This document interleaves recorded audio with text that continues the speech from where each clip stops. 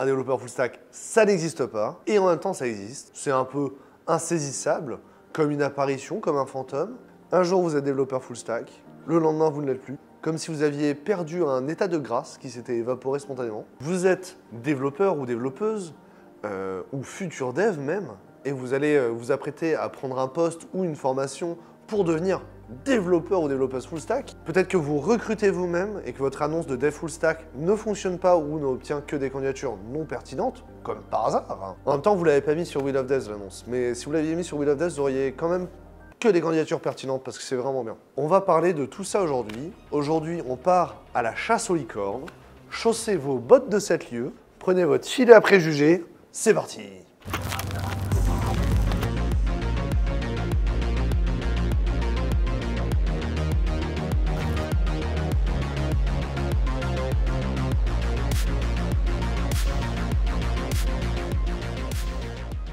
y a fort fort longtemps, dans un royaume fort fort lointain, les développeurs étaient sous-divisés en catégories. Il y avait les développeurs front, il y avait les développeurs back, il y avait les développeurs mobiles qui étaient à cheval, correctement, hein, comme des vrais cavaliers. Ils étaient même eux-mêmes répartis en brigades de développeurs euh, Android, en brigades de développeuses iOS pro- probablement. Les développeurs web, on ne savait pas vraiment s'ils étaient développeurs front ou pas, parce qu'il y avait des développeurs front qui faisaient pas du web. Si, si, c'était il y a longtemps. Et les devs front, ils devaient attendre que les devs back aient mis en production du coup leur API dans un environnement approprié, euh, même si c'était une API, parfois c'était même un back-end complet quoi, euh, pour pouvoir construire leur front intégré dessus. Ensuite, ils se rendaient compte que c'était pas bien. Ils demandaient une évolution aux développeurs back. Les développeurs back mettaient ça sur leur pile de tickets. Trois semaines après, c'était nouveau en production. Les développeurs front allaient recommencer, puis se rendent compte que ça correspondait pas forcément à ce que fait les utilisateurs voulaient, donc on avait tout remodifié. En vrai, euh, ils se renvoyaient les parpaings par-dessus le muret comme si c'était des maçons. Le ou la chef de projet faisait plus d'aller-retour qu'une balle de squash. Et ils se tapaient la tête contre les murs exactement comme une balle de squash. Pendant ce temps-là, euh, le client, l'utilisateur ou l'utilisatrice finale de l'application euh, pouvait attendre 10 ans avant de voir euh, ses demandes arriver en production et avoir un logiciel qui ne correspond pas du tout à son besoin parce que pendant ce temps-là, son besoin a changé. Alors cette situation initiale, elle a bien sûr duré pendant très très très longtemps, euh, jusqu'à ce qu'un raz-de-marée arrive. Je parle bien sûr de la vague, de une vague plutôt qu'un raz-de-marée, de la vague agile. Alors rigolez pas parce qu'en vrai ce royaume fort fort lointain, euh, c'est peut-être une DSI à côté de chez vous aujourd'hui en 2023, parce qu'il y a vraiment 80% de chance pour que les gens qui regardent cette vidéo la regardent en 2023. Une DSI près de chez vous n'est peut-être pas encore agile. Et est-ce que c'est grave? Parce que concrètement, la vague agile, ça n'a pas été non plus un raz-de-marée qui s'est étalé sur la plaine et qui a inondé euh, les champs de blé.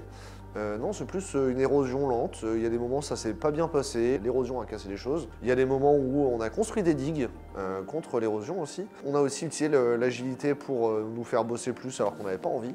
Nous, on n'a pas envie de travailler plus. On a envie que les utilisateurs soient heureux. Ce n'est pas pareil. C'était pas fluide et c'était pas radical. Mais dans le fonctionnement agile d'une équipe, il fallait que ce, vieux concept de la, user story soit accompli entièrement par une seule personne. C'est-à-dire qu'il fallait qu'un développeur ou une développeuse puisse prendre l'US et la faire de bout en bout. Donc même si c'est un dev qui est bon sur le front, il faudra qu'il aille sur le back pour le faire. Si c'est une dev qui est forte sur le back, il faudra qu'elle utilise euh, Bootstrap ou un design system pour arriver à faire un front qui est pas trop moche. L'important, c'est d'arriver à faire le geste métier de bout en bout. Et c'est ça qu'on a appelé un développeur ou une développeuse full stack. C'est quelqu'un qui est suffisamment compétent pour intervenir sur l'ensemble de la stack d'un projet. Ce qui veut dire qu'effectivement, si vous changez de projet, il y aura un temps de formation pour que vous redeveniez full stack, parce que la stack sera forcément différente de la stack d'avant. Et a priori, ben, il faudra vous reformer sur au une partie de la stack. La stack, euh, c'est une pile, parce que les couches dans l'environnement, le front, le back, euh, le DevOps, euh, le déploiement, euh, même aujourd'hui, c'est plus un sandwich, hein, c'est plus une salade composée d'outils et de, et de tiers applicatifs. Cette salade composée euh, est très grande et il faut que vous maîtrisiez tous les aliments de la ratatouille.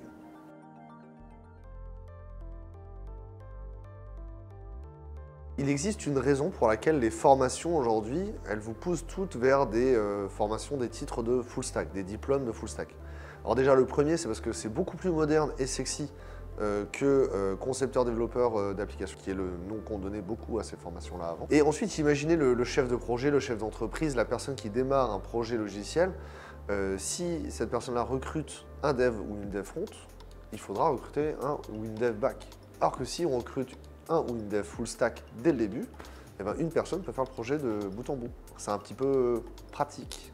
Bon alors c'est sûr que la personne qu'on va recruter sera peut-être moins compétente sur le front que sur le back, ou l'inverse. Et il y a bien une partie du projet qui sera moins bien faite que si on avait deux personnes qui étaient expertes sur chacune des deux parties du projet. Mais avec une personne, on peut aller jusqu'au bout d'une première version. Du coup, être full stack, c'est un peu comme euh, tenir une baraque à frites. Tu fais tout, du ménage à la plonge, tu fais le marketing de la friterie, euh, c'est toi qui dessines les cartes. Ah, puis il faut faire le service aussi. Hein. Bon, là, en service, c'est plateau comme ça, hein, c'est le service quand même. Mais il est fort probable que dans votre carrière, vous ayez envie à un moment d'aller travailler dans un autre lieu. Toujours dans la restauration, peut-être vous avez envie d'aller travailler dans un grand restaurant. Et dans ce restaurant, ben, l'équipe qui est en salle et l'équipe qui est en cuisine, c'est pas les mêmes gens, ils n'ont pas les mêmes tenues, ils n'ont pas les mêmes formations, ils n'ont pas le même titre de poste. Et c'est un peu ça l'idée de se spécialiser vers un métier de dev front ou vers un métier de dev back quand on a commencé en tant que développeur full stack.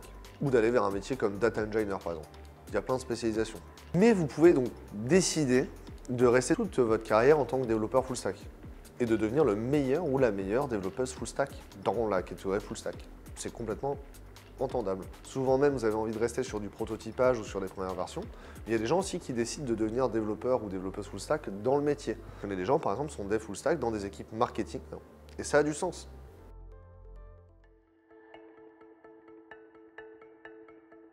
Bon, du coup, et mon poste de développeur full stack, là, Damien, on, fait quoi? Comment on fait pour recruter? Eh bien, déjà, on va aller poser des questions à l'opérationnel. C'est un full stack, mais sur quel stack? Parce que ça va nous permettre de différencier le poste dans un premier temps. Full stack sur une stack euh, React Node, c'est probablement plus facile à recruter que quelqu'un qui est full stack sur une stack, euh, disons quelque chose d'exotique comme euh, une stack Laravel avec ElectronJS en front.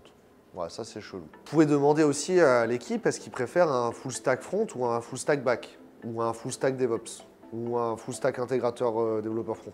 Parce que clairement, il y a 50 nuances de full stack et il faut demander quelle nuance de full stack est la plus importante. Parce qu'en vrai, dans une équipe de full stack, il n'y a pas que des clones. La bonne pratique, c'est de faire ça et elle n'est pas universelle, on est bien d'accord, mais dans l'idéal, on ne veut pas une équipe avec que des clones. On veut une équipe avec des Avengers. On veut des gens qui ont des compétences différentes, des spécialités différentes et qui vont travailler ensemble pour trouver une solution à chaque problème, à chaque situation. Bonne équipe, même si elle est full stack, c'est une équipe avec des gens qui ont des expertises, des cœurs de compétences différentes et l'ensemble, l'agrégat, apporte de la valeur. C'est important la valeur. Du coup, ça vaut le coup de demander dans l'équipe aujourd'hui, qu'est-ce qui vous manque? Euh, Est-ce que vous avez déjà un expert sur les bases de données? Est-ce que vous avez déjà une experte en DevOps? Est-ce que vous avez déjà euh, quelqu'un qui est à l'aise sur l'UX et qui peut challenger un peu les US ou proposer des maquettes pendant le sprint? Là-dessus, on va pouvoir trouver, parce que finalement, sur la fiche de poste, on avait avant 25 euh, items dans la bullet list. On va trouver cette compétence qui va venir compléter correctement l'équipe et apporter de la valeur à tout le monde. Ah oui, est-ce qu'on veut un crafter pour cette équipe? Parce que souvent, ben, l'équipe, elle n'a pas de test en place. La qualité de code, c'est un sujet. Si on veut améliorer la qualité de code, on va chercher un full stack crafter.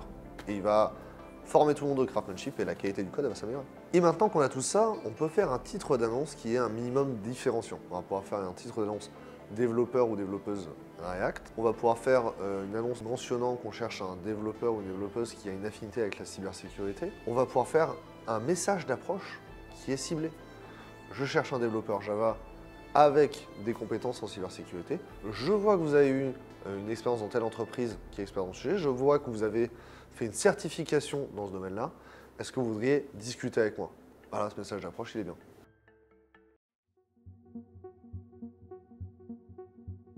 Est-ce que l'on n'en demanderait pas toujours un petit peu plus aux développeurs et aux développeuses? Et jusqu'où on va aller? Parce qu'à un moment, ça va s'arrêter ou pas? Non, parce que c'est vrai que le métier de développeur, euh, on lui, le dev, de manière générale, on lui en demande toujours plus. Euh, maintenant, il doit faire le run en plus du build, parce que euh, c'est le DevOps et il doit faire tourner la prod tout seul. Il faut qu'il soit expert sur tous les outils du DevOps. Il faut qu'il soit expert en RGPD parce que le marketing a demandé quelque chose euh, qui n'est pas du tout OK et euh, le développeur c'est un DPO avec euh, des consciences éthiques et doit dire non. Je vous parlais de la sécurité. Maintenant, s'il y a des failles en production, c'est de la faute des développeurs. Ils avaient qu'à savoir que ce qu'ils faisaient c'était du code pas sécuritaire. Sans compter que aujourd'hui faire un site web c'est devenu une usine à gaz. Avant on faisait du HTML, CSS. Un peu de PHP pour rendre le truc euh, un peu dynamique. Maintenant, il faut savoir monter un build NPM, comprendre le positionnement CSS dans Flexbox. Bon, ça c'était déjà avant, mais j'ai toujours pas pris. Maintenant, un développeur, on lui demande d'avoir passé 18 diplômes, 33 certifications. Il est plus formé qu'un agent secret de la CIA, qu'un astronaute qui va aller sur l'ISS. Ça ne s'arrête jamais. Alors bien sûr qu'on va apprendre toute notre vie, et c'est ce qui fait que notre métier est chouette. Mais vous comme moi, on ne pourra jamais tout savoir. Et il faut que les gens euh, qui gèrent nos équipes, qui gèrent nos projets de carrière, qui gèrent nos projets, ils arrivent à assimiler ça et à s'assurer que l'ensemble des compétences requises, elles soient bien présentes dans l'équipe, bien présentes dans l'entreprise. Ça s'appelle la gestion prévisionnelle des emplois et des compétences, la GPEC, et c'est un métier, bien sûr. Et alors, donner des formations aux gens. Je veux bien qu'on forme tous les développeurs, tous les devs, tous les informaticiens et les informaticiennes de la DSI au RGPD. C'est une bonne idée. Il faut former aussi les RH au métier de l'IT et aux spécificités d'une DSI. Et il faut former les managers au management. Si j'insiste en vrai, parce que souvent les managers ne sont pas formés au management, il faudrait peut-être juste les former au management pour commencer. J'espère que cette vidéo vous a éclairé sur euh, cette licorne fantastique qui est euh, le full stack. N'hésitez pas à euh, passer votre coup de gueule, nous partager votre expérience en commentaire sous la vidéo. Bien sûr, euh, on lira tous les commentaires et on y répondra, je serai content. J'espère que vous avez passé un bon moment sur cette vidéo, que vous êtes heureux ou heureuse de bosser dans l'IT. Continuez à faire des logiciels, qu'ils soient beaux, qu'ils soient moches, avec ou sans bug, tant qu'il y a des utilisateurs qui sont heureux de les utiliser demain, c'est que vous avez bien fait votre travail aujourd'hui. Merci beaucoup, à bientôt, bisous